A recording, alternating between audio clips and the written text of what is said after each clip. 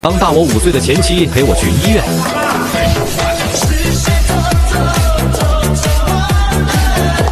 检查结果咋样了呀？你瞅着，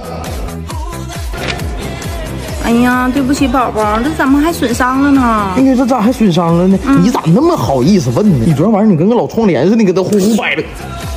医院这么多人呢，小点声。再说了，你昨天不是挺开心吗？咋的？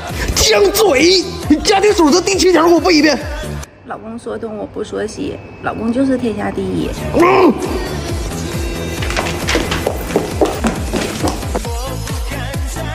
给宝宝，不给我你开我就喝呀。嗯，喝吧。嗯，走，我扶着你。这腰子老疼，非得那那么快。这周我多给你买点羊腰子、牛腰子，好好给你补补，行吗？放肆！我用得着那玩意儿吗？我的实力多强，你自己不知道啊？强，老公你最强了。